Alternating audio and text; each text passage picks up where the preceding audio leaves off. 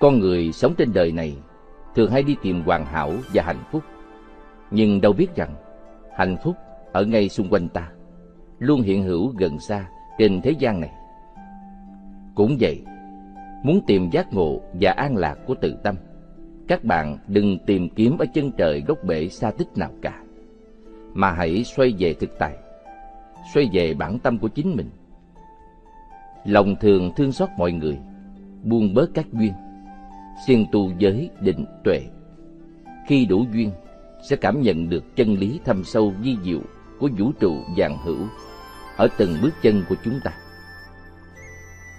Trong cuộc đời này, buồn vui, thành bại của một người không phải là do người khác đem lại, mà là do chính bản thân mình có cái nhìn tích cực hay không. Nếu nhìn thế giới bằng ánh mắt bi quan, thì thế giới sẽ ảm đạm. Nếu nhìn thế giới bằng con mắt lạc quan, chúng ta sẽ thấy thế giới đầy hạnh phúc và có rất nhiều điều đáng để cho ta học hỏi.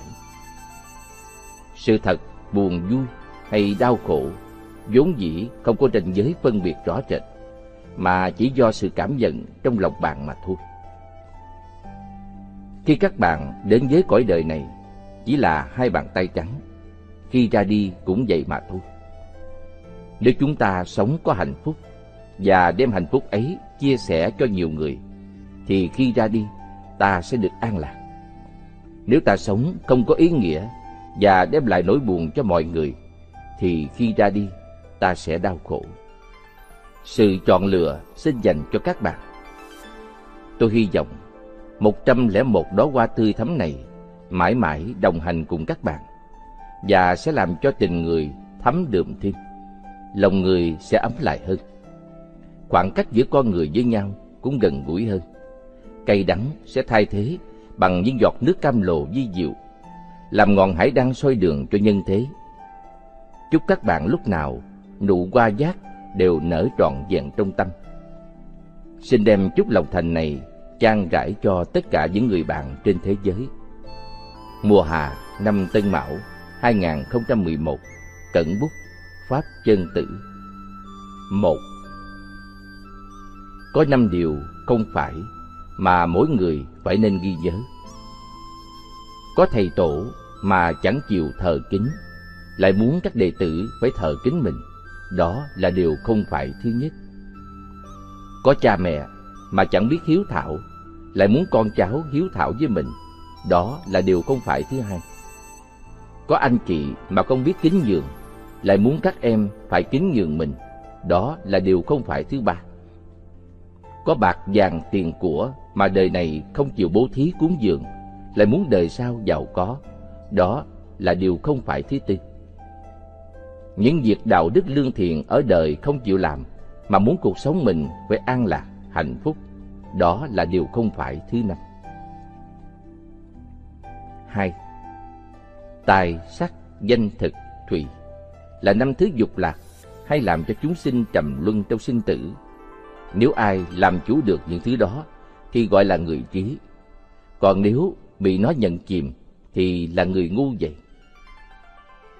ba Núi dù cao cho mấy cũng có đỉnh, khó khăn dù lớn cho mấy cũng có giới hạn, mà tiềm lực của mỗi người thì vô hạn.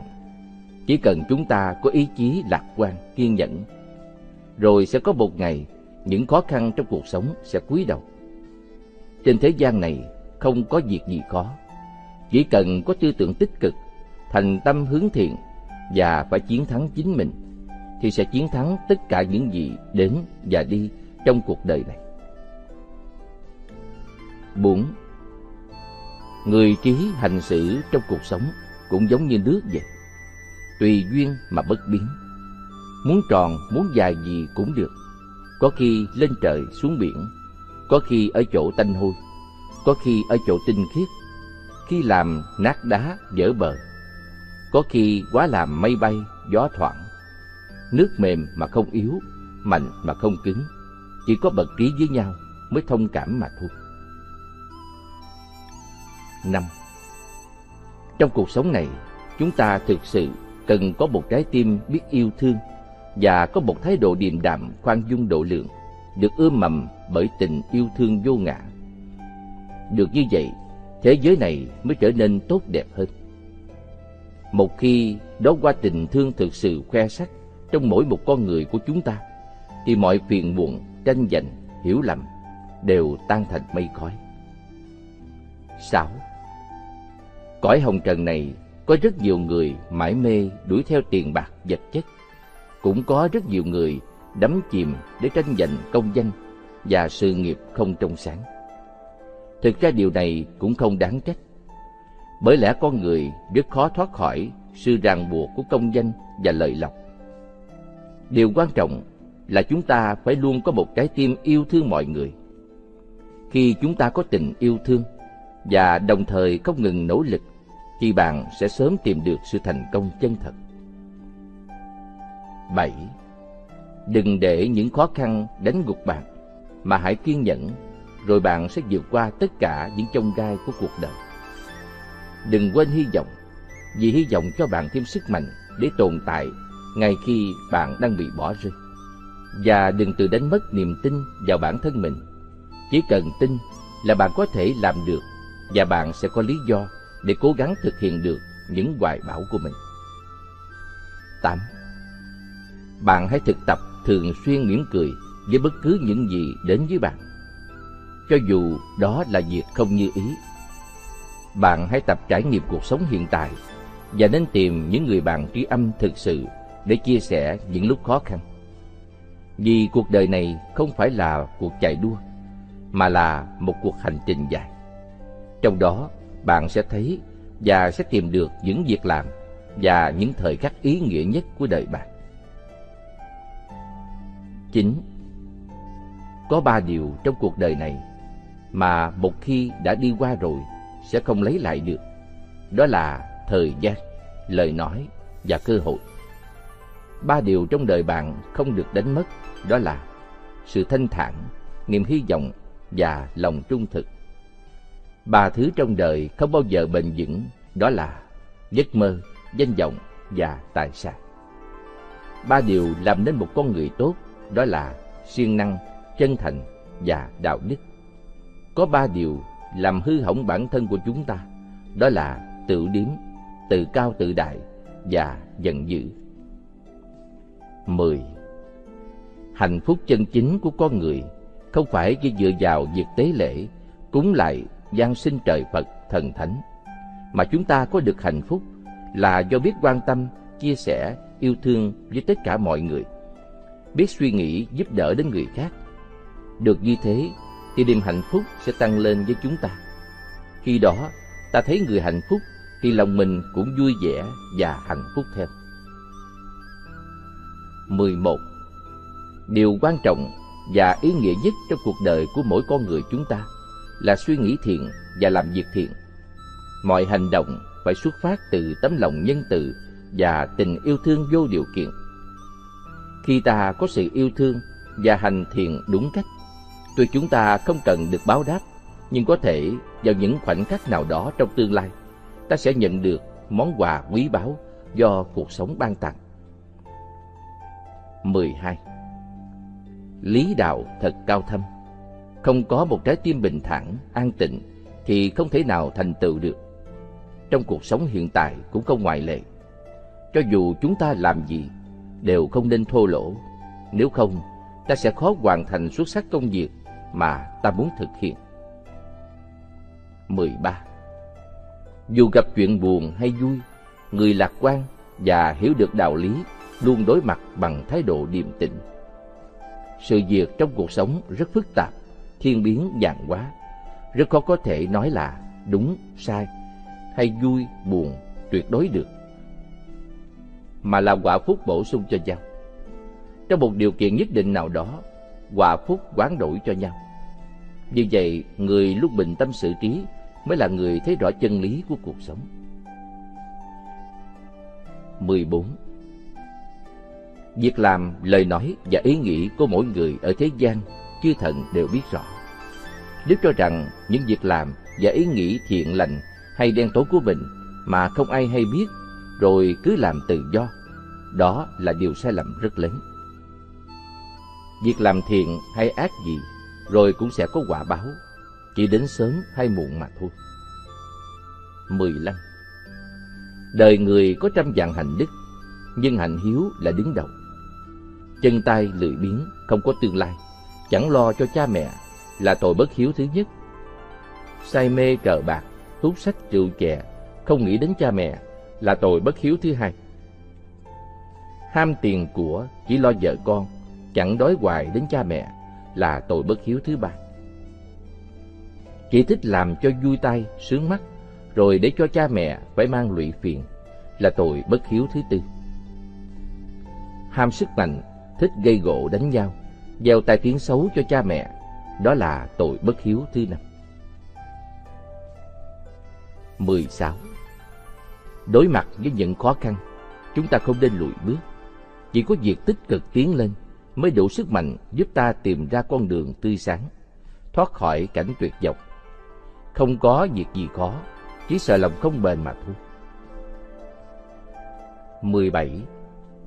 Trong công việc hàng ngày, có khi mỗi người chúng ta gặp phải sự lãnh đạm, giễu cợt hoặc bị ghen ghét đố kỵ. Điều quan trọng là bạn phải nhận thức rõ bản thân và lập trường của chính mình.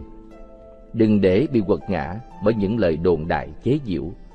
Phải lấy thực lực để chứng minh năng lực của mình. 18. Chúng ta chưa phải là Phật hay Bồ Tát thì chắc hẳn ít nhiều gì cũng có những lỗi lầm.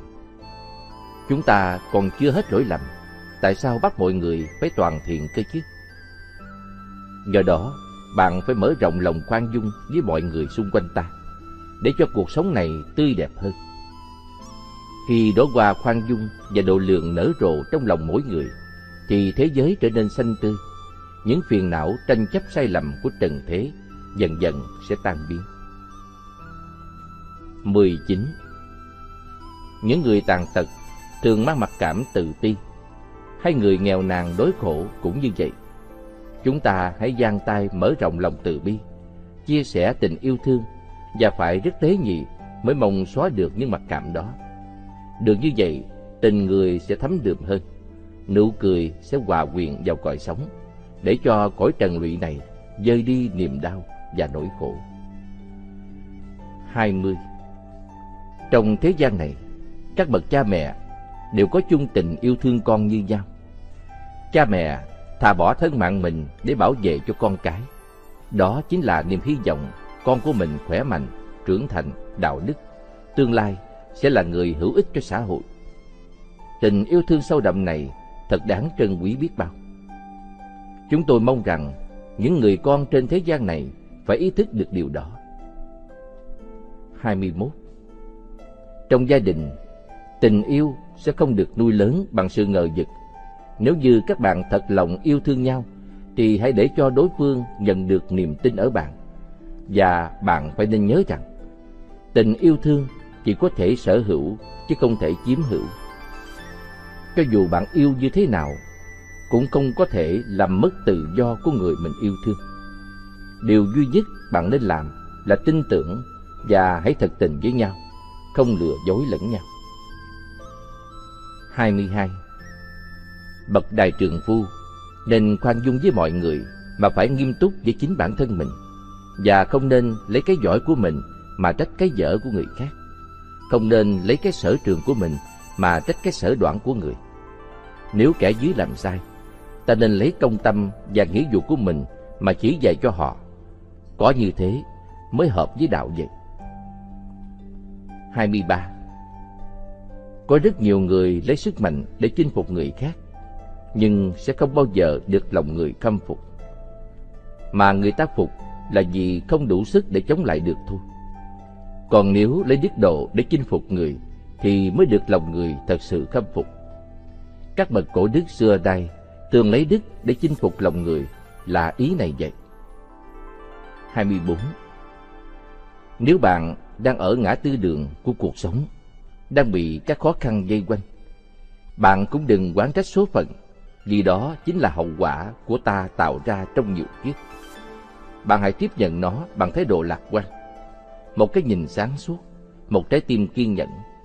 Tôi chắc chắn với các bạn, sóng gió rồi cũng sẽ qua. Bạn sẽ gặt hái được thành công bằng tâm chân thành và nghị lực của chính bạn. 25 Không có con đường nào đi mà không đến. Chỉ cần bạn kiên trì tiến bước. Đây là đạo lý dễ hiểu. Khi gặp phải khó khăn cũng vậy. Không có việc khó nào mà không làm được. Trên thế giới này, Không có vấn đề nào mà không giải quyết được. Bạn phải học cách từ chiến thắng chính mình, Thì sẽ chiến thắng tất cả. 26 Người đời thường hay giấu cái hay của người khác, thì đó gọi là dìm người. Còn nêu ra cái xấu của người để cho họ mất mặt, Thì đó gọi là hàng tiểu nhân. Cho nên phải biết kính trọng và mến mộ cái hay của người Mới chính là mình hay vậy. Còn nếu moi móc cái xấu của người, Thì cũng chính như mình xấu vậy. 27 Khi nghe kẻ nói xấu hay chê trách, Mình cũng đừng vội giận họ. Khi nghe người khen mình cũng đừng vội mừng. Nếu nghe người nói xấu ai, cũng không nên hòa theo. Còn nghe người khen ai, thì mình phải sinh tâm quan hỷ, không được đố kỵ. Cổ nhân xử trí lúc nào cũng khoan thai và bình tĩnh, như vậy mới được người đời kính trọng, thanh danh lưu truyền kim cổ. 28. Lợi lộc, quyền thế, ái dục của thế gian giống như bọt nước, tựa hồ như mây nổi chúng biến ảo vô thường, không thể nắm bắt trọn vẹn được. Nếu như chúng ta chỉ biết theo đuổi chúng mà không biết điểm dừng, thì tự bạn sẽ gặp đau khổ triền miên. Thế nên phải biết thiểu dục tri túc mới mong có được hạnh phúc lâu dài. 29. Trong đời sống hiện tại, người có vô số tiền bạc không nhất thiết là người hạnh phúc, và người rất nghèo nàn rách nát cũng không nhất thiết là người khổ sở. Hạnh phúc hay đau khổ, bấu chốt chính là do bạn nhìn nhận nó như thế nào. Có khi nghe một câu nói, người ta có thể vui trong suốt cuộc đời. Bạn đã có nghe được câu nói ý nghĩa nào để làm tư lương trong đời chưa? 30. Các bạn nên nhận rõ mục tiêu mà mình đã chọn. Bước vào cõi đời này bằng sự chánh kiến và lòng chân thành rồi bạn hãy bền chí đi theo con đường mà mình đã chọn. Rồi có lúc bạn sẽ nhìn thấy ánh sáng chiếu rọi của sự thành công. Nên nói, tâm thành sợ chí, kim thạch nhi khai là vậy. 31. Cuộc sống tất nhiên là có trở ngại, khó khăn, đau khổ, có khi bế tắc tất cả, hụt hẫng cô đơn. Nhưng bạn nên hiểu rằng, trên thế gian này, không chỉ riêng một mình bạn khổ đâu mà còn rất nhiều người còn khổ hơn thế nữa. Đây không phải là lý do để chúng ta thoái lui. Người thực sự dũng cảm là người dám đi trên con đường gặp ghềnh mà ít ai dám đi. Nhưng dù gặp ghềnh tới đâu, cũng có khi bằng phẳng. Đau khổ đi qua rồi, hạnh phúc sẽ đến. Có đau khổ mới thấy được giá trị của hạnh phúc các bạn ạ. À. 32. Mỗi người chúng ta đều như nhau cả. Nhưng một người nào đó có thể vượt qua người khác là nhờ tự mình đã chiến thắng được chính mình và chuyên tâm học tập, từ huấn luyện thuần thiện thân tâm của mình. Đồng thời phải có ý chí, quyết không từ bỏ nếu không đạt được mục đích. 33. Cuộc sống cần kiệm là của báo vô giá, dè dặt, cẩn thận là cánh cửa để giữ mình. Người giàu có nhiều tiền mà dùng không đúng chỗ thì sẽ hại lụy cho bản thân. Lòng tham dục nhiều thì sẽ làm hại đến tinh thần. Người xưa thường nói, không tham cầu còn hơn bố thí mà dụng lợi. Dè dặt giữ mình còn hơn ăn chay mà làm điều bất thiện. 34. Làm người cần phải tập dẫn dưng với đủ thứ mùi đời của ngũ dục, tài, sắc, danh, thực, thủy, thì mới tốt và đừng nên định hót người giàu sang. Không ham lợi thì ít bị tai họa, biết nhường nhịn nhẫn nhục thì sẽ được bình yên. siêng năng tắm gội thì thân mình sạch sẽ, ham chơi xa đọa thì sẽ sinh nhiều bệnh tật.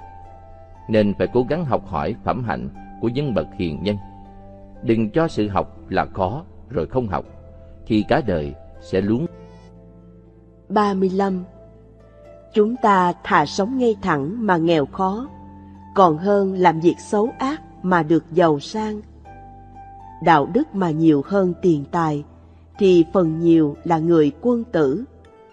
Tiền tài mà hơn đạo đức, thì phần nhiều là hạng tiểu nhân.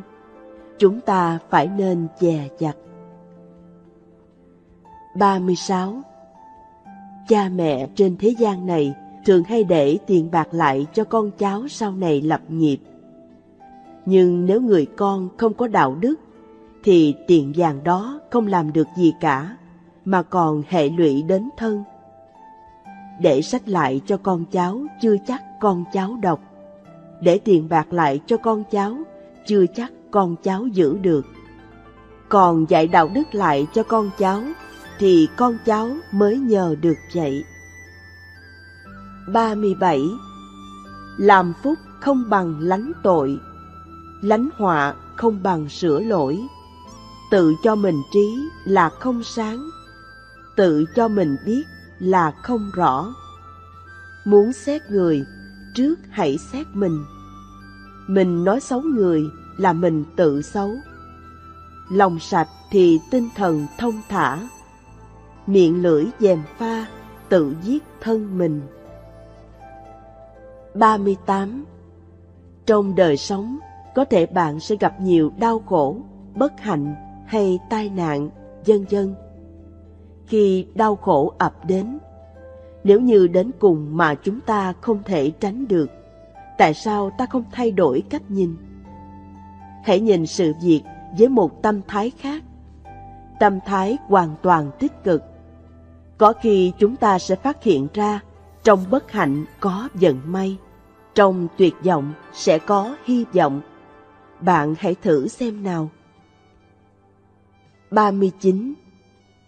Tình thương và giàu có không phải tự nhiên từ trên trời rơi xuống được. Cũng vậy, muốn sống những ngày có hạnh phúc và vui vẻ thì phải dựa vào chính tấm lòng hướng thiện và đôi tay của chính mình. Nếu không như vậy, rồi lại cứ ngồi đó mua vé số cầu may mắn hoặc gian sinh thần thánh. Chẳng khác nào ôm cây đợi thỏ, đó là người ngu vậy. Muốn thực hiện được ước mơ, bạn phải hành động với tâm chân thành, thì mới mong biến giấc mơ trở thành hiện thực được. 40. Đức Phật và Đức Chúa được xem là hai người bạn thân thiết với nhau, nhưng mỗi vị có phương tiện giáo hóa chúng sinh khác nhau. Chúng ta sống trên thế gian này đều cùng thở chung một bầu khí quyển, cùng uống chung một dòng nước của đại dương.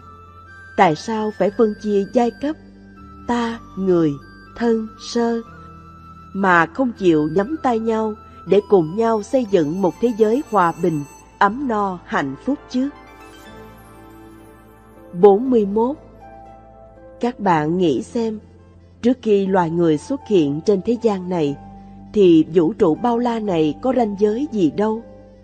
Nhưng về sau, lòng tham của con người ghê tởm đến nỗi có thể khiến cho thế giới chia cắt nước non như ngày hôm nay. Binh biến, tàn sát lẫn nhau, tranh giành quyền lợi. Nhưng thật đau xót khi biết rằng chúng ta chỉ sống được vài mươi năm. So sánh với người ở cõi trời, thì thời gian ta sống chỉ bằng một bữa ăn của họ mà thôi. 42. Trong xã hội này, giữa con người với nhau, tuy rằng có rất nhiều sự khác biệt về hình thức bên ngoài, nhưng xét về lý tánh thì mỗi người đều bình đẳng và có khả năng thành Phật, sáng suốt như nhau. Trong lòng mỗi người luôn luôn có Phật hay Chúa hiện hữu. Nhưng con người không biết là do chưa đủ duyên thể nghiệm được mà thôi. Một ngày nào đó, nếu bạn không còn những tạp niệm trong lòng, tất cả phiền não đều được hóa giải. Lúc đó sẽ không còn có tranh giới, sang hèn, cao thấp giữa con người với nhau nữa. Và khi ấy, tất nhiên là sẽ không còn chiến tranh nữa. 43. Có cơ hội báo thù những người đã hại bạn, nhưng bạn lại bỏ qua. Ngược lại, bạn còn dùng đức để báo oán, giúp kẻ thù của mình thoát khỏi hiểm họa và trở thành những người bạn thân. tấm lòng khoan dung ấy mới chính là tấm lòng của người cao thượng vậy. 44. Cho dù trong bất cứ hoàn cảnh bi thương nào, bạn phải nên phấn đấu dương lên, không đầu hàng trước số phận. Với ý chí và nghị lực đó mới có thể giúp cho người đầy tớ Cybersty trở thành một họa sĩ nổi tiếng nhất thế giới. Pele nhà nghèo không đủ tiền mua nổi một trái bóng để đá, sau này trở thành một cầu thủ bóng đá nổi tiếng. Stallone hơn sau 1.300 lần xin việc, cuối cùng cũng thành công. Socrates, Newton, Einstein, vân vân, từ đau khổ cùng cực, các vị đã dũng mãnh không lùi bước mà quyết chí tiến lên và đã trở thành những nhà thiên tài cho nhân loại. 45. Trên con đường thành công không tồn tại hai chữ bỏ cuộc. Trong cuộc sống này không có gì là không thể. Niềm tin trong trái tim mỗi con người sẽ tạo nên kỳ tích. Do đó, Chúa và Phật đã dạy, tìm sẽ gặp và đi sẽ đến. 46. Gần gũi với người hiền hay bạn lành giống như gần trầm hương. Lâu ngày, trầm hương sẽ thấm mùi hương lên thân thể bạn.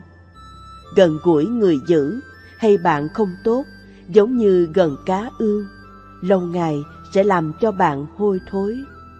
Muốn biết bạn đó tốt hay xấu thì hãy gần gũi lâu ngày sẽ biết.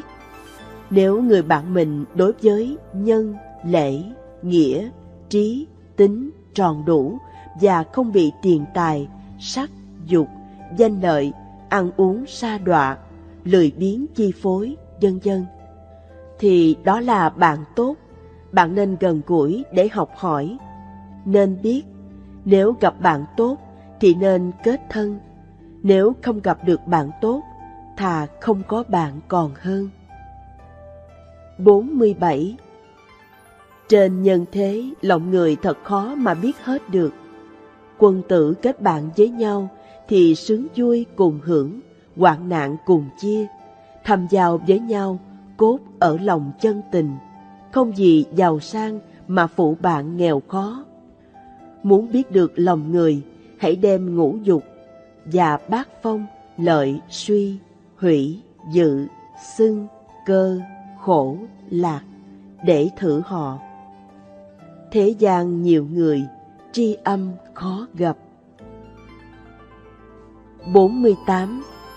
Người xưa nói, đắc văn thiện ngôn như hoạch kim châu bảo ngọc, nghĩa là nghe được lời nói hay của bậc hiền như được vàng ngọc châu báu. Có khi được một lời hay sẽ làm thay đổi cả cuộc đời mình. Cho nên, chưa được học thì phải học, chưa được tốt thì phải tốt, chưa được hiền thì phải hiền. Không nên tự ti, vì đó là tự phụ chính mình vậy. 49. Không có thế giới nào hoàn toàn là đau khổ hay hoàn toàn là hạnh phúc cả. Đau khổ là do hạnh phúc mà lập, hạnh phúc từ đau khổ mà có. Cuộc đời luôn tương đối. Bạn đừng nên cứ mãi đứng núi này trong núi nọ để tìm kiếm một nơi hoàn toàn không đau khổ. Đó là tự tìm đến đau khổ mà thôi. Hạnh phúc luôn ở xung quanh ta nếu ta mở rộng tấm lòng bác ái dị tha, bao dung, độ lượng và thông cảm với mọi người. Khi ấy, bạn không cần cầu hạnh phúc mà hạnh phúc dẫn đến. Lúc đó là bạn đang ở thiên đường. Còn nếu hẹp hòi ích kỷ, đố kỵ, ghen tuông, sân si chấp ngã, thì chính khi ấy bạn đang ở trong địa ngục vậy. 50 Trong cuộc sống ngày nay, tình trạng cạnh tranh kinh tế ngày càng mãnh liệt. Mỗi người chúng ta đều phải đối đầu với mọi áp lực và công việc nặng nề. Nếu không kịp thời giảm bớt áp lực này, thì sẽ xảy ra hiện tượng tâm lý mất thăng bằng. nó sẽ là sợi dây vô hình xiết cổ chúng ta.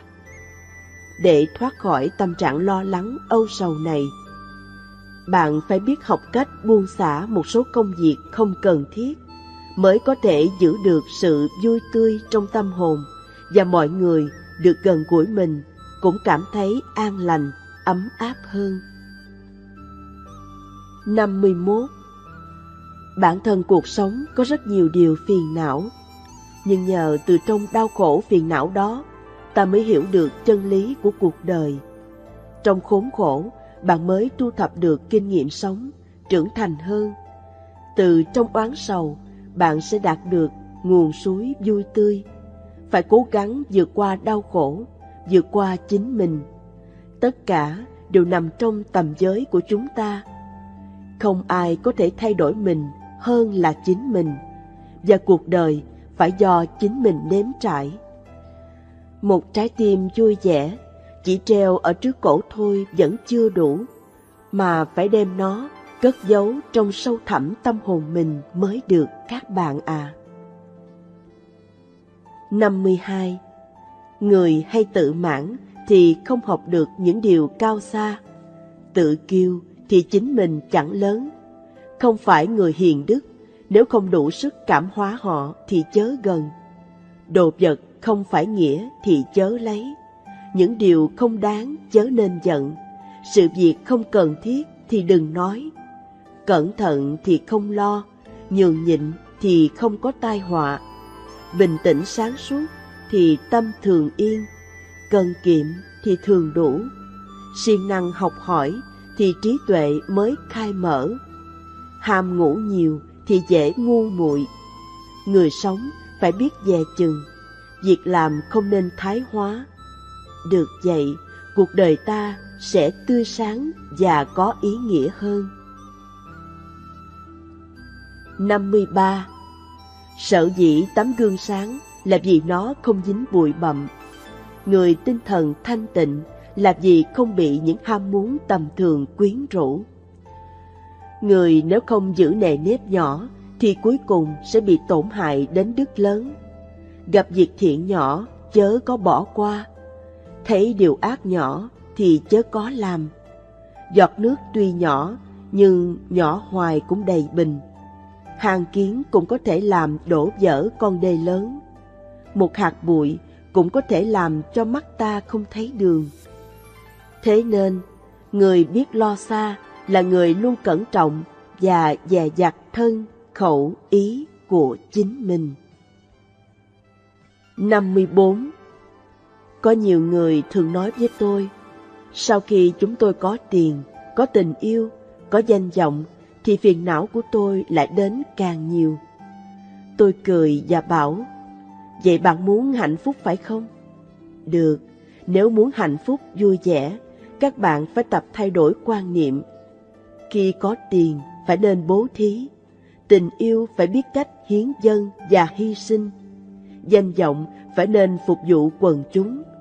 Sống như vậy, các bạn mới vui vẻ và hạnh phúc được.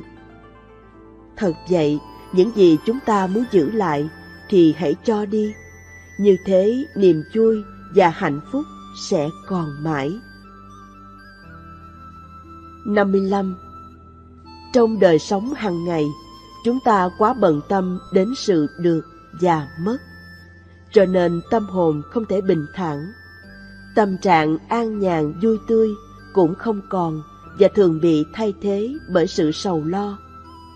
Quá buồn khổ rồi lại đi tìm bình an, mà không biết hạnh phúc và bình an ngay dưới từng gót chân ta và ngay trong ngôi nhà mình. Nếu bạn muốn đi tìm bình an ở bên ngoài, thì có một ngày bạn sẽ thất vọng. 56.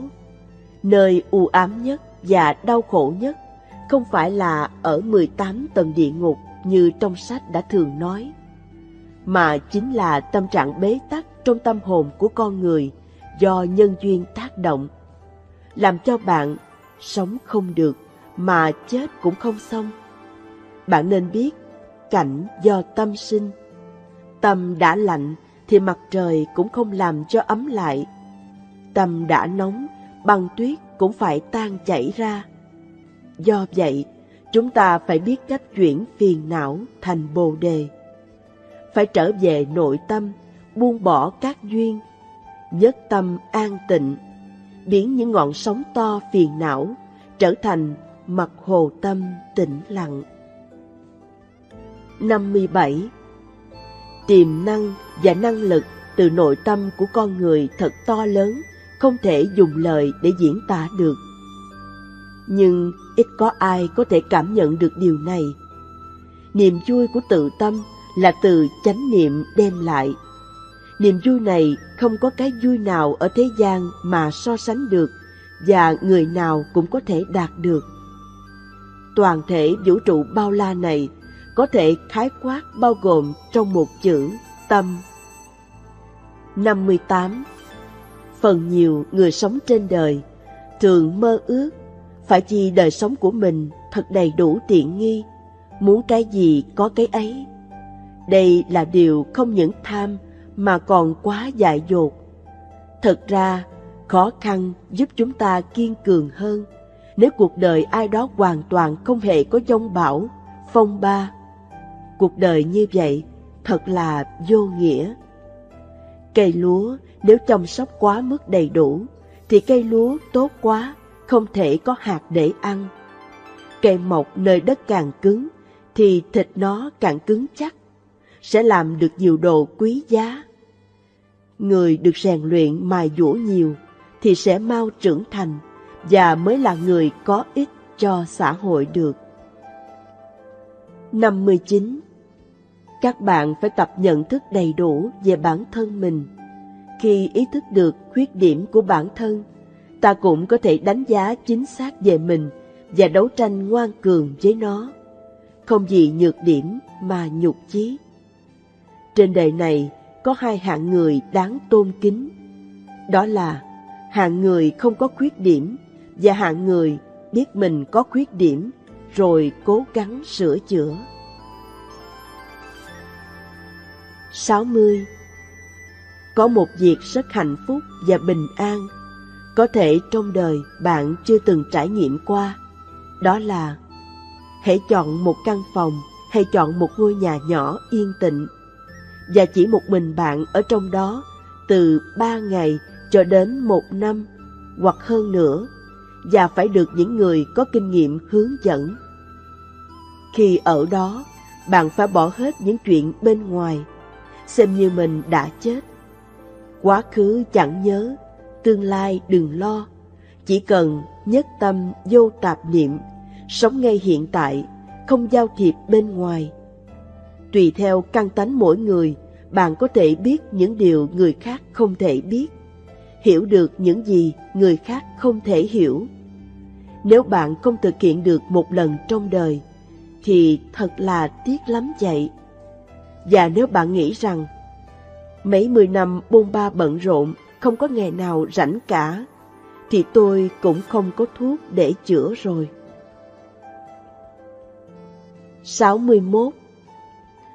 Thế thường thì hay bị việc làm phung phí xa xỉ mà mất nhà, không liêm chánh mà mất chức, đạo có được là do tâm hồn hướng thiện an tịnh, trong sáng mà ra.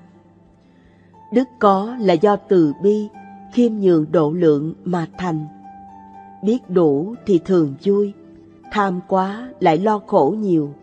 Người biết đủ thì bao nhiêu cũng đủ, người không biết đủ thì bao nhiêu cũng thiếu. Biết đủ tuy nghèo mà vui, không biết đủ tuy giàu mà khổ vậy. Người dù rất ngu ngốc, nếu chịu chuyên tâm học hỏi thì cũng sáng. Người dù rất thông minh, nếu hay buông thả lười biếng thì cũng tối tâm ngu muội. Chăm học là cốt để thấy hiểu cao xa, biết sâu rộng là để sửa lỗi của chính mình. Nên ngồi ở trong nhà kính cũng phải giữ gìn như ở ngoài đường xá. Được như vậy mới tự nghiêm mình và nghiêm mọi người được. 62. Người cho dù có thông minh tột đỉnh, vẫn xem mình như ngu ngơ, công lao lớn trùm cả thiên hạ mà vẫn nhún nhường. Sức mạnh cao tột hơn đời mà vẫn xem mình như yếu đuối. Thường khoan dung và tha thứ. Giàu có tột đỉnh mà vẫn hay khiêm tốn. Không khinh khi người khác, đó là những người dũng trí, khéo khôn. Sở dĩ con người thông minh, hay giỏi, tài trí là được người đời kính trọng, đó là nhờ có âm đức. Nếu âm đức không có mà thông minh, giàu có, thì sẽ là tai họa cho thiên hạ. 63. Có hai điều quan trọng mà bạn phải nên nhớ, đó là trong cuộc sống, bạn đừng nên thờ ơ với những gì quá gần gũi và quen thuộc, mà hãy gìn giữ chúng như những thứ quan trọng nhất. Vì có lúc, bạn sẽ cảm thấy tiếc nuối khi những điều thân thuộc ấy mất đi. Và một điều nữa là, đừng hạ thấp giá trị của mình bằng cách so sánh bản thân mình với người khác. Vì mỗi chúng ta là những con người khác nhau và có những giá trị khác nhau. 64. Trí tuệ chân thật là trí tuệ không phải lấy được từ sách vở mà ra. Bản chất của con người không phải từ sách vở mà có. Thành công của con người cũng không phải từ sách vở mà nên. Bệnh tật của con người hết đi không phải ở toa thuốc, mà tất cả đều phải trải qua quá trình thực nghiệm của bản thân. Đó là kết tinh của ý chí và nghị lực, thẳng bước tiến lên vì hoài bão của chính mình. 65. Trên đường đời, ắt hẳn mọi người chúng ta đều có những vị thầy chỉ dạy cho ta kiến thức và kinh nghiệm sống. Nhưng vị thầy đích thực giúp chúng ta thăng hoa và chuyển hóa phiền muộn khổ đau. Đó chính là vị thầy cao cả trong tâm mình. Mỗi hành động ý nghĩa gì, vị thầy này đều biết rõ, rồi kiểm soát và cạn lọc những cái tốt đẹp để làm hành trang cho đường đời của bạn. 66. Ngày nay, con người kinh doanh và buôn bán phần nhiều là nói không thật và không trung thực vì thực hiện lợi ích riêng tư. Nhưng đâu biết rằng, ngày nay được tiền, ngày mai tai họa sẽ đến. Nhân quả thiện ác như bóng với hình. Đừng tưởng cuộc đời của ta sẽ an bình và giàu sang mãi mãi.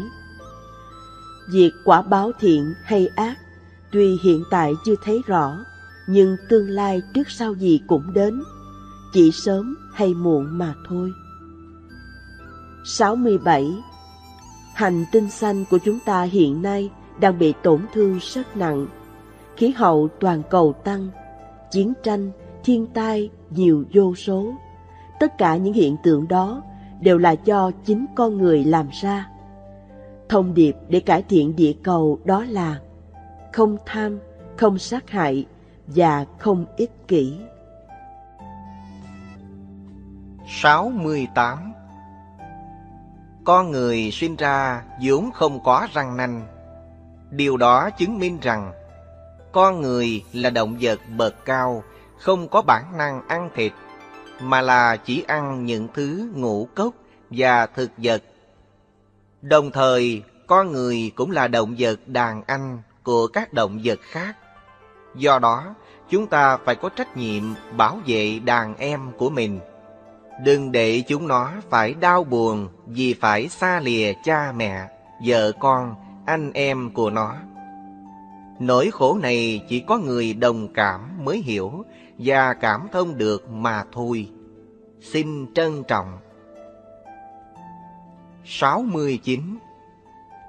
Trăm ngàn năm cho đến ngày nay, trong một bữa cơm ta ăn, oán sâu như biển, thù hận khó lường, ta ăn uống vui sướng no say trên sự đau khổ kêu la của những chúng sinh khác. Chúng ta phải biết rằng mỗi sinh linh đều tham sống sợ chết, ta nỡ nào đè đầu cắt cổ, nghe tiếng rên la cầu cứu thảm thiết của chúng nó sao? Bạn thử nghĩ xem, trong cuộc đời mấy mươi năm sống trên thế gian này, biết bao nhiêu sinh mạng đã chết để tạo nên những tế bào hình thành thân thể của chúng ta đây. Câu hỏi này xin để lại cho các bạn. 70.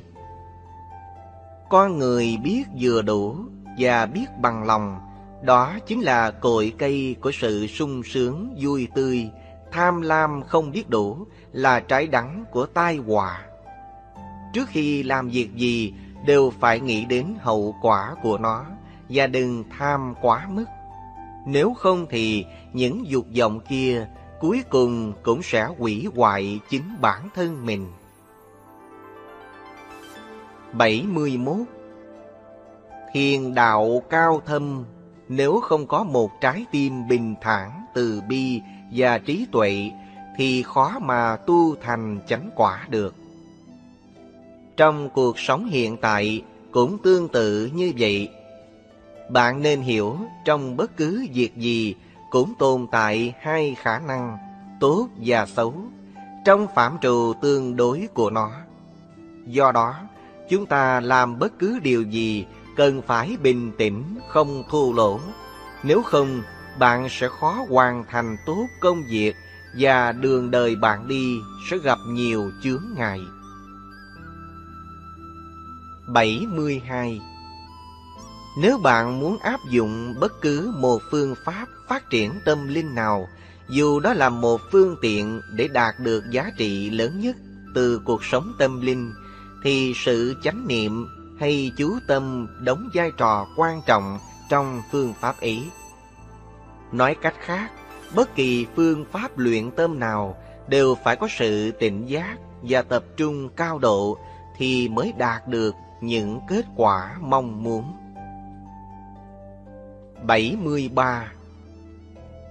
Dạng sự đều lặng yên, không bằng tấm lòng yên tịnh, vì trạng thái yên tịnh của sự vật là tương đối. Nếu trong lòng rối bời thì bạn sẽ không nhận ra được sự yên tịnh đó. Bạn phải tập như thế nào để chuyển hóa những phiền phức thành đơn giản, chỉ có chính bạn mới thực hiện được. Bạn đừng dội tin vào những gì mà người khác nói, và đừng bao giờ coi thường mơ ước của những người khác bạn nhé. 74 Nếu xét kỹ về nhân duyên, chúng ta sẽ thấy trong một hạt cơm ta ăn hay những vật dụng ta dùng ngày nay đều do vô số người đã đóng góp sức lực vào trong đó. Nhiều khi cũng có những người mà ta đã từng thù ghét, hoặc có những người ta chưa từng quen biết và gặp mặt bao giờ. Do đó, ta phải thầm cảm ơn tất cả những người trên thế gian này. Nếu mỗi người chúng ta chịu thực tập và đi vào đời sống bằng tình thương và lòng biết ơn, thì cuộc sống sẽ không còn đau binh ly loạn nữa. 75 Nhẫn nhẫn nhất thời chi khí, miễn miễn bá nhật chi ưu. Nhẫn nhịn được một giờ thì khỏi phải trăm nghìn ngày đau khổ. Nếu thầy trò không nhẫn nhịn nhau thì không còn đạo nghĩa. Vợ chồng không nhẫn nhịn nhau thì mất hết tình thâm. Anh em không nhẫn nhịn nhau thì mỗi người không chung bước. Bạn bè không nhẫn nhịn nhau thì không thành tri kỷ. Xóm làng không nhẫn nhịn nhau thì sẽ gây thù nếu nhẫn được những việc mà người khác không nhẫn được, đó mới thật là nhẫn. Và nhẫn nhịn được những thứ mà người khác đem đến nhục mạ mình, ấy mới gọi là nhẫn nhục. Do đó, bạn phải học quy tắc, dĩ nhu khắc cương, thì mới tạo cho cuộc sống này thêm nhiều niềm vui và ý nghĩa. Khi ta chết đi, sẽ không có nhiều điều phải ăn năn và hối hận. 76. Trong đời này, không những hoàn cảnh mà còn mỗi người xung quanh, nhiều khi làm cho chúng ta đau khổ và thù hận. Thật sự trên thế gian này, đâu có ai muốn người khác thù hận hay ghen ghét mình đâu. Nhưng nhìn sâu thẳm trong tâm hồn thì người kia đã có những tập khí hoặc hoàn cảnh thiếu thốn tạo nên hay được truyền trao từ ông bà cha mẹ. Những nỗi khổ tâm này vì họ không đủ nhân duyên lành để chuyển hóa và chia sẻ cùng với ta. Thật sự, dù người xấu tới đâu cũng có những cái tốt. Người dù tốt cách mấy cũng có những cái xấu. Không ai mà hoàn toàn không có khuyết điểm cả. Họ cũng không muốn làm tổn thương đến ta đâu, chỉ vì họ không đủ sức để chuyển hóa những phiền não trong tâm, cho nên mới xuất phát ra những lời nói và hành động như vậy. Họ có nỗi khổ của họ các bạn à. Vì vậy, chúng ta hãy mở rộng tình thương, chan rải tâm hồn và tha thứ, thông cảm những điều sai trái của họ. Mặt trời mọc lên thì ánh sáng sẽ bừng dậy trong bầu trời tâm thức vô biên. Tình thương này chính là nước từ bi mát dịu sẽ làm lành những vết thương mà người kia đã từng làm cho ta đau khổ. Cuộc đời quá đau khổ, xin đừng làm khổ thêm, cho đi và tha thứ sẽ được giấc êm đềm. 77 Nếu bạn có làm việc ân nghĩa cho ai, thì đừng mong nhất định phải có đền đáp. Nếu cho rồi thì đừng có hối tiếc. Thành thật thì người thương, khoan hồng thì không bị oán, hòa nhã thì không bị ai thù, nhường nhịn thì thường an, giữ luật thì thường ổn, cẩn thận thì ở nơi đâu cũng được. Không suy nghĩ dẫn dư thì tâm thường tĩnh lặng, dè dạt lời nói thì sẽ không tai họa. Ai ai cũng sửa tâm như vậy thì thiên hạ sẽ thái bình.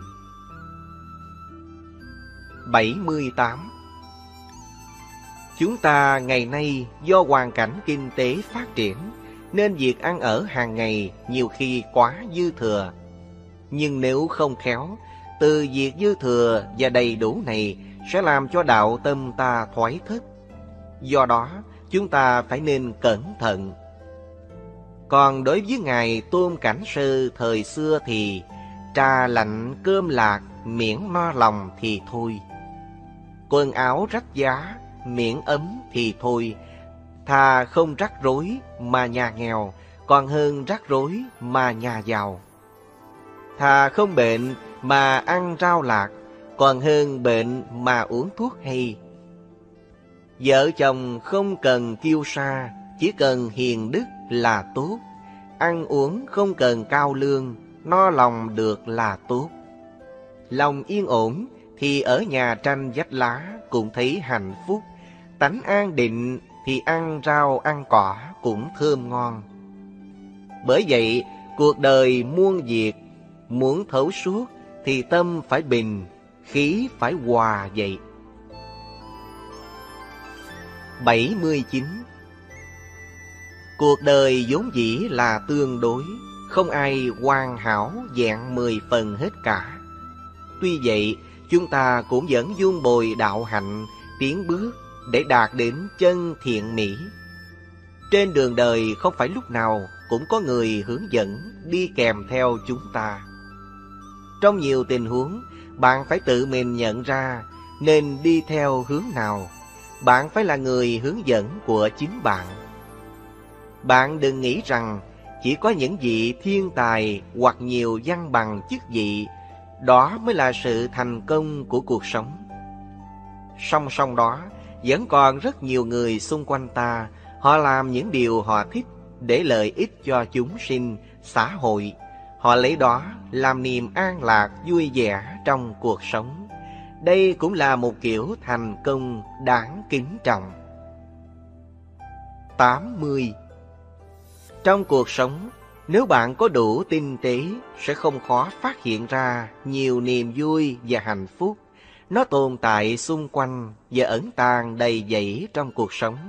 Nhưng vẫn có nhiều người vẫn đau khổ triền miên, là chỉ vì không phát hiện được mà thôi.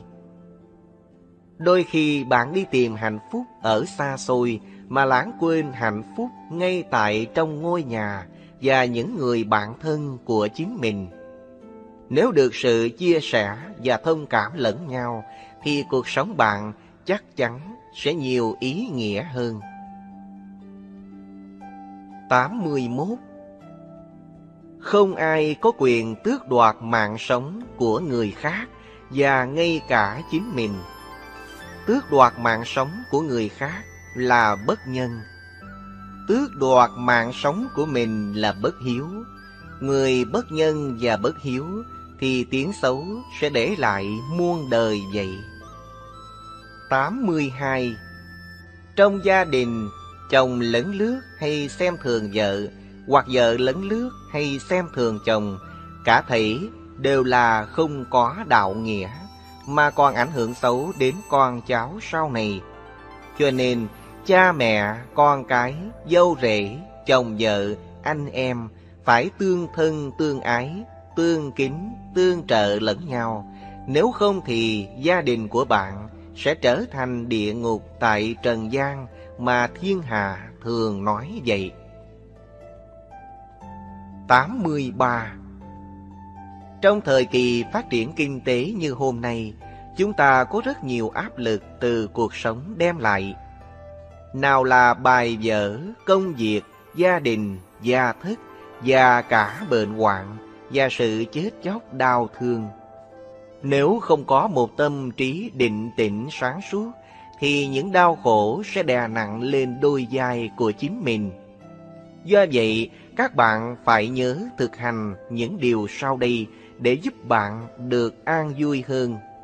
Đó là đừng quá chấp nhất vào những việc nhỏ rồi phóng đại nói lên, mà hãy nên chuyện lớn quá nhỏ, chuyện nhỏ quá thành không.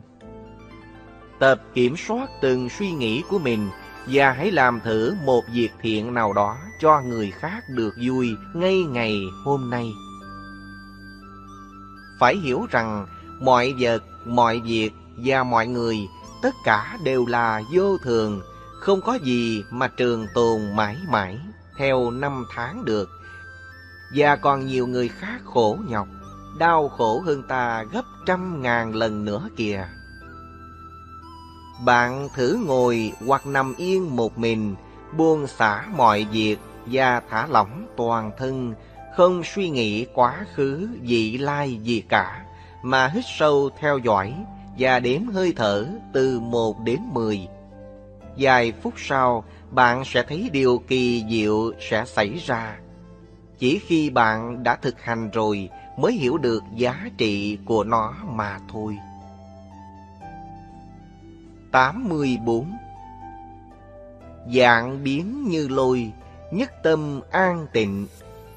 Nghĩa là cho dù ngoại cảnh có ồn ào đến đâu, tâm ta vẫn tĩnh lặng.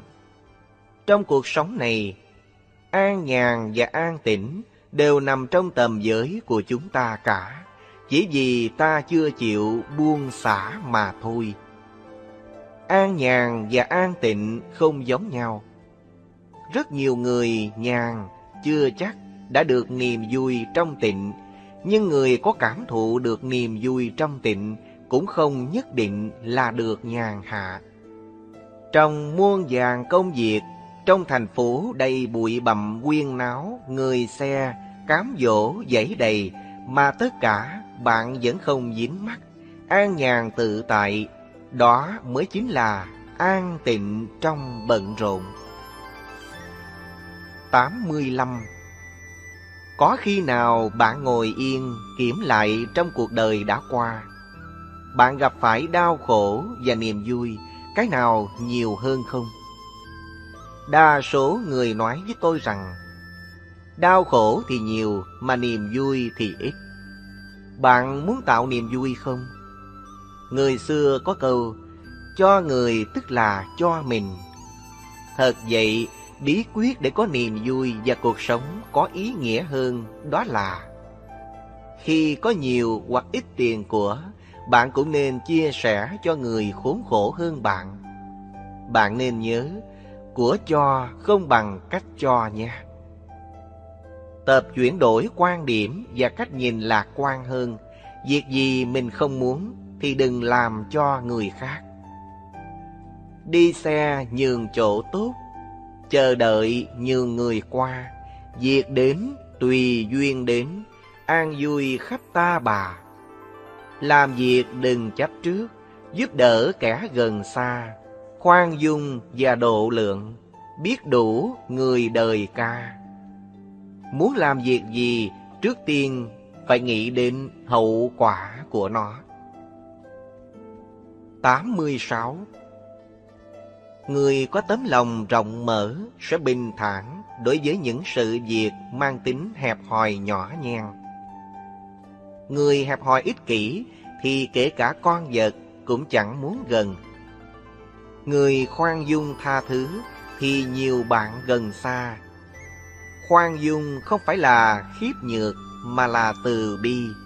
Khi bạn khoan dung với người khác thì dưỡng mắt thù hận trong lòng sẽ tiêu tan, hóa giải được hận thù dù đó là mâu thuẫn nhiều năm. 87 Người quân tử thường kính trọng bậc đại nhân và thánh nhân, còn kẻ tiểu nhân thì ngược lại. Người quân tử làm tốt cho người, không làm xấu cho người. Kẻ tiểu nhân thì trái lại. Người quân tử không oán trời, không trách người, chỉ trách chính mình.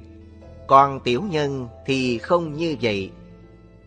Người quân tử lấy nhân nghĩa làm đầu, kẻ tiểu nhân thì tự kiêu và vua nịnh. 88 Một ngày trên thế giới này có mấy dạng cặp vợ chồng ly dị nhau.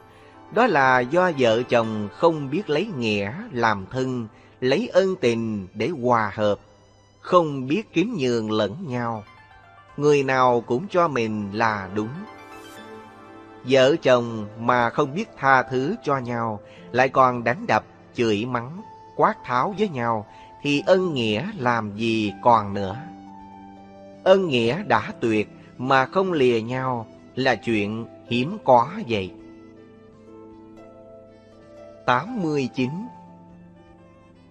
Ông Bùi Tư Thúc dạy Nói năng phải trung tín, nết na phải thành kính, ăn uống phải dè sẻn chừng mực, chữ viết phải ngay ngắn, mặt mũi phải đoan trang, áo mũ phải chỉnh tề, đi bước phải thông thả, cư xử phải đàng hoàng, việc làm phải có trước sau, nói làm phải đi đôi, đức phải giữ cho bền, lời hứa phải giữ đúng, thấy điều lành thì quan hỷ, thấy điều ác chớ theo, việc đáng nói thì nói, không đáng chớ mở lời. Bệnh hoạn thì thường do từ miệng mà vào, họa thường từ miệng mà ra. 90.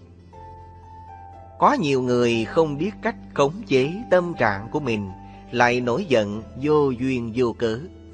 Thật ra, những điều này là hậu quả của việc không được dung trồng từ sự khoan dung. Biển lớn là vì biển thấp hơn các dòng sông, biết dung chứa các dòng nước nhỏ, khoan dung tha thứ người khác là một cử chỉ và hành động cao quý. Bạn đừng lãng phí cuộc đời cho dù một phút giây vào việc oán trách hoặc thù hận người khác. Như vậy, bạn mới có thể sống vui vẻ, bình an. Lấy oán, báo oán, thì oán ý càng thêm. Lấy đức báo oán, thì oán ý mới tiêu tan.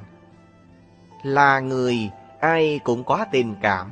Nếu bạn dùng lòng khoan dung, tha thứ, đối đại với người khác, tôi tin rằng thế giới này không có băng tuyết tự tâm. Lòng người nào mà không tan chảy trước ánh nắng của từ bi. 91 Trên thế gian này, không ai muốn kết bạn với những người không thành thật và không giữ chữ tín. Làm người trước hết phải giữ chữ tín là vốn để làm người. Bạn không giữ chữ tín thì cũng chẳng có người nào tin bạn. Khi ấy, sự tồn tại và lời nói của bạn chẳng đáng kể. Tuy rằng lời nói dối tạm thời đem lại lợi ích cho con người, nhưng đừng lạm dụng và nó sẽ không bền trước thời gian. Bởi vì thời gian chỉ làm khỏe mạnh cho những gốc rễ chân thật mà thôi. 92 những ai trên cuộc đời này mà thường mơ tưởng đến một ngày tất cả mọi việc đều như ý muốn của mình và hoàn toàn là đi trên gấm lụa mà không cần làm việc, mà cứ mãi gian sinh. Đó là thuộc hạng người không tưởng, lười biếng và ngu xuẩn. Nếu không hề có dông bão của cuộc đời và không hề có những mảng sáng trong cuộc sống, đó là một cuộc đời vô nghĩa. Khó khăn giúp ta kiên cường hơn. Những người yêu đời xem khó khăn là một cơ hội để rèn luyện bản thân, chiến đấu vượt qua để sống tốt hơn. Cái nghèo nàn về vật chất không phải là cái nghèo nàn đích thực. Cái nghèo nàn đích thực đó chính là cái nghèo nàn trong tinh thần và ý nghĩ vậy. 93 Thân phận con người không phải là một cái gì bất toàn và kim tởm mà là một báo vật đáng trân quý. Đừng phí phạm một kiếp người để phải than giảng bi thương, đau buồn hối tiếc trước những việc làm của mình gần lúc lâm chung. Tuy nhiên, trong cuộc sống, ai cũng hơn một lần sai phạm, nhưng không vì thế mà bi quan. Cuộc đời vốn dĩ không có cái gì trường tồn mãi mãi, kể cả địa vị, chức sắc, danh vọng. Đã biết là thế, nhưng ta cũng có thể làm cho những cánh hoa đời cười khoe sắc giữa thế gian, tiếng suối nhạc reo vui trong cả không gian trần thế. Khi ta mới chào đời, mọi người xung quanh thì cười, chỉ riêng ta là khóc. Nhưng bạn sẽ sống như thế nào để ngày ra đi? Mọi người khác thì khóc, chỉ riêng bạn sẽ mỉm cười bạn nhé. 94 Cuộc đời chúng ta là một chuỗi dài học hỏi vô tận. Người sống mà không học thì mờ tối như đi đêm. Chớ nói ngày nay không học còn có ngày mai. Năm nay không học còn có năm tới. Ngày tháng vượt qua mau, mà người không chờ đợi. Người có học thì sẽ dễ dàng thông hiểu đạo lý. Châu Ngọc mà chẳng mài dũa thì chẳng thành của quý được. Người không rèn luyện học hỏi thì người đời sẽ không xem trọng. Người sáng suốt mà chăm học thì không lấy việc học kẻ kém hơn mình là xấu hổ. Không lên núi thẳm thì không biết trời cao, chẳng tới hố sâu thì khó biết đất dày. Người không chịu học đạo lý thì làm sao trở thành hiền nhân được. 95 Có vài người hỏi tôi Thầy học đã bao năm nay Bây giờ thầy đang học cái gì vậy? Tôi trả lời Tôi đang học làm người hiền Và học làm Phật Tuy vậy, Không phải ai ở trên đời này Cũng biết cách học làm người đâu bạn nhé Học làm người Thì không có một khuôn khổ nhất định nào cả, cũng không có bằng cấp nào cả. Nhưng nếu học được thành công thì người này đi dù bất cứ nơi nào cũng sống an lành. Và lẽ đương nhiên mọi người đều yêu thương kính trọng người này. Đây chính là bằng cấp cao quý nhất của đời bạn. 96 Trên đời này, người hiền lành thì nhiều khi bị nói là nhu nhược.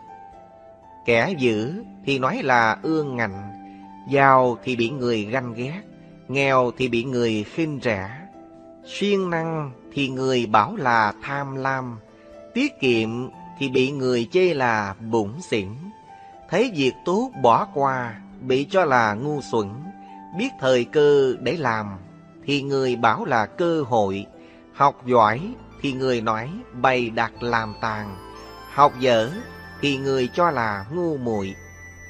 Thật vậy, làm người thật không phải dễ, cho nên người đời thường nói khôn cũng chết, dại cũng chết, biết thì sống. Biết ở đây là cái biết của người trí, biết tùy duyên, biết linh động, biết thời, biết đạo lý trung dung vậy. Tâm sáng thì muôn việc hợp tình, trí sáng thì tà ác không sinh. 97. Tất cả các loại hương quý của thế gian, dù quý như hương chiên đàn đi nữa, thì nó cũng bay xuôi theo chiều gió. Chỉ có hương của người đức hạnh mới bay ngược gió để làm thơm ngát khắp chốn nhân gian. Người quân tử đức hạnh không cầu danh mà danh tự có. Kẻ tiểu nhân muốn danh bay khắp mà tiếng xấu lại đồn xa. Do đó, mỗi người khi làm việc gì phải cân nhắc kỹ lưỡng. Trước khi nói, phải uống lưỡi bảy lần. Đi đứng nói năng đều nên dè dặt. 98 Kim nhật bất tri minh nhất tại, Thượng sàng bất liễu, hạng sàng tồn. Nghĩa là, ngày nay còn sống, chẳng biết ngày mai có còn không. Ngày nay lên giường ngủ, chẳng rõ ngày mai có thể còn xuống giường hay không. Do đó, việc gì làm được ngày nay thì chớ đợi ngày mai. Ruộng tốt ngàn muôn thở, chết đâu đem được gì. Trước linh sàng cũng giái, đâu sống ăn được gì. Tiền bạc giàu nước dắt, ra đi có được gì. Con cháu đầy nhà cửa, chết thế cho sao được. Cho nên khi còn sống, phải tự mình tích đức tu tâm, sống cho phải đạo, tạo chút ít phước huệ để làm hành trang của kiếp sau. Của cải muốn giữ được lâu dài, thế thường chia làm bốn phần. Một phần để cho con cháu, một phần để phòng khi già bệnh, một phần để lo sự sống hàng ngày, một phần để bố thí cúng dường. Được vậy, đời này khi mất đi, đời sau vẫn còn ân huệ. Người xưa nói, có thế lực không nên dùng hết, có phước đức không nên hưởng hết, là ý này vậy. 99. Người xưa dạy, gặp quỷ thần, mình kính mà lánh xa, không nên mê tín thì trí sáng. Tìm quỷ tìm thần mà thờ cúng để cầu phước lộc, đó là cái nhân của hiểm họa về sau. Niệm Phật là nhớ đến hạnh của Phật, xem kinh là rõ lẽ Phật, được tỉnh ngộ là chứng đạo của Phật. Tế Điên Hòa Thượng có dạy, dẫu xem hết cuốn Di Đà, niệm suốt lời chú Đại Bi, nhưng không hành thiện sửa mình thì là tụng suông. Kinh và chú vốn từ bi, nhưng không cứu nổi được kẻ làm sang bậy. Cho nên, tụng kinh niệm chú là để hiểu đạo lý rồi sửa lỗi của mình, chứ không phải tụng cho Phật, cho Bồ Tát nghe để ghi công cho mình. Hiểu thấu được như vậy mới là người có chánh kiến vậy. Một trăm Ngày nào cũng là ngày tốt, ngày nào cũng là ngày xấu. Trong đời sống có quá nhiều cám dỗ, nếu chúng ta không tỉnh táo để nhận thức, thì sẽ tạo thêm gánh nặng không cần thiết cho mình. Thật ra, đời sống rất đơn giản, nhưng không thể coi là đơn điệu được. Hãy bỏ bớt đi hành trang ở ngoài và hành trang trong lòng, thì chúng ta sẽ bước đi nhẹ nhàng thanh thản. Nếu đem cuộc đời của chúng ta giao quyền quyết định cho thần thánh, thì bạn sẽ gánh lấy đau khổ dài dài. Mình phải tự biết mình là ai và làm gì trong cuộc đời này. Không ai giúp mình bằng chính mình và không ai biết mình bằng chính mình. Việc quả phước đến với ta, bạn là người biết hơn ai hết. Thế rồi, cuộc đời này còn lại những gì? Nam Lai Bắc Giảng Tẩu Tây Đông Kháng Tức phù sinh tổng thị không Thiên giả không, địa giả không Nhân sinh yểu yểu tại kỳ trung Phu giả không, thê giả không Huỳnh tuyền lộ thượng bất tương phùng Kim giả không, ngân giả không Tử hậu hà tàn tại thủ trung. Tạm dịch. Đi khắp chốn đông tây nam bắc. Rõ cuộc đời tất cả đều không. Trời cũng không, mà đất cũng không. Người sống trong cõi tạm trăm năm. Chồng cũng không, mà vợ cũng không. Trong chốn suối vàng đâu gặp gỡ. Vàng cũng không, mà bạc cũng không. Sau khi chết đi tay trống rỗng Không ở đây tức là tánh không. 101 Trong mỗi người chúng ta đây, ai dám đảm bảo ta sống được 100 năm? Cho dù muốn hay không, chuẩn bị hay không chuẩn bị, sẵn sàng hay không sẵn sàng, rồi một ngày kia, chúng ta phải chia tay thế gian này để tiếp tục một cuộc hành trình mới trong tương lai rồi sẽ chẳng còn ánh mặt trời chói chang chào đón, sẽ chẳng còn một ngày mới bắt đầu bằng những giọt nắng trong vắt của buổi bình minh, sẽ không còn thấy những người thân yêu của chúng ta nữa. Những ngày xuân hiền hòa, những ngày thu hoa lá ẩn màu vàng, giờ đây chỉ là một giấc mộng mà thôi. Tiền bạc, danh vọng, quyền lực, ruộng vườn, dân dân, tất cả cuối cùng sẽ trở về với cát bụi. Còn ý nghĩa chăng là những gì ta đã tạo ra trên thế gian này, bạn đã đóng góp và đã cho nhân loại những gì? Không phải những thứ bạn học được, mà là những gì bạn đã truyền lại cho người khác. Không phải là những thành công của bạn có, mà là những ý nghĩa thanh cao của chúng đối với cuộc đời và nhân loại này. Bạn đã cư xử như thế nào với mọi người xung quanh? Những cử chỉ và thái độ của bạn đã ghi khắc vào những người xung quanh như thế nào? Và điều quan trọng nữa là không phải bạn quen biết thật nhiều người mà là bao nhiêu người sẽ luyến lưu, đau xót, cảm kích và kính trọng khi bạn mất đi. Bây giờ bạn hãy bình tâm ngồi yên tịnh vài phút để ôm lại những hạt giống yêu thương, tha thứ và những hạt giống oán hờn. Bạn đã gieo mầm được bao nhiêu rồi trong quãng đời mà bạn đã đi qua. Tôi nguyện mãi mãi sẽ đồng hành và làm lợi ích cho nhân loại, dù tôi có ở bất cứ nơi nào trong những kiếp tương lai. Hy vọng mọi người chúng ta sẽ chung tay góp sức với nhau để tạo cho thế giới này ngày càng thêm nhiều nụ cười, thêm nhiều đóa hoa mai và những cánh chim én của mùa xuân để làm đẹp thêm cho bầu trời nhân thế. Thế, thế, thế, thế, thế, thế, thế, thế.